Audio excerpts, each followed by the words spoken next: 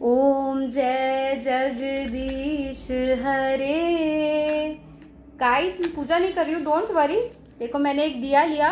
इसके अंदर कॉटन का वेक लगाया, थोड़ा सा ऑयल डाल दिया, ठीक है? अभी देखो, क्या हुआ? ये कैसे इसके अंदर ऑयल राइज करेगा? ये राइज करेगा because of the capillary action capillary action क्या होता है guys it is the property of liquid जिसकी वजह से वो नैरो स्पेसिस में ग्रेविटी के अगेंस्ट भी मूव करने लग जाता है ट्रैवल करता है। इसी वजह से ऑयल जो है गाइज़ इस कॉटन के विक में ऊपर राइज करता है और हम इस दिए को जला पाते हैं।